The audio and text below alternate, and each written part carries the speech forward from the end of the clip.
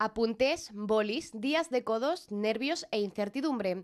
Los alumnos que se examinan en esta prueba de acceso a estudios de grado saben que se juegan mucho en los exámenes.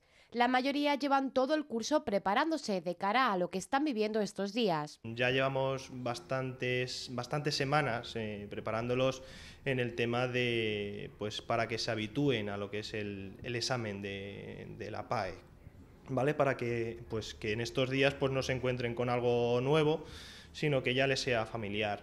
Y aunque para la nota final es importante el esfuerzo realizado durante todo el curso, siempre hay quien decide volcarse de lleno en los últimos días. En estos 15 días que, que se acercan ya dicen, oye Eduardo, que yo quiero tener más clases, que quiero más mm, examen, más tipo de, de prepararme para lo que es la prueba específica, entonces ya se vuelven un poco locos. Las asignaturas que mayor dificultad suelen entrañar para la mayoría y por la que demandan ayuda son los idiomas y las ciencias. Sobre todo el inglés y eh, sobre todo también para lo que es las ciencias, más que nada matemáticas, física y química, sobre todo más química con el tema de, de, de formulación, etcétera. Dar con la técnica adecuada para memorizar es fruto de muchos años de estudio. Sin embargo, hay docentes que nos proponen alguna bastante efectiva para poner en práctica con determinadas asignaturas buenos resúmenes primeramente y luego unos esquemas de esos mismos resúmenes, trabajo hecho por ti,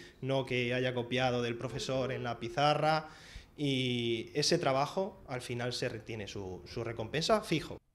Por lo tanto, ya inmersos en plenos exámenes, solo hay que tener en cuenta lo siguiente. Tranquilidad, que duerman esa noche, porque es imprescindible llegar al examen descansado. Tras estos días solo cabe esperar a que se cumpla el objetivo, aprobar con la nota deseada para que puedan estudiar lo que más les gusta.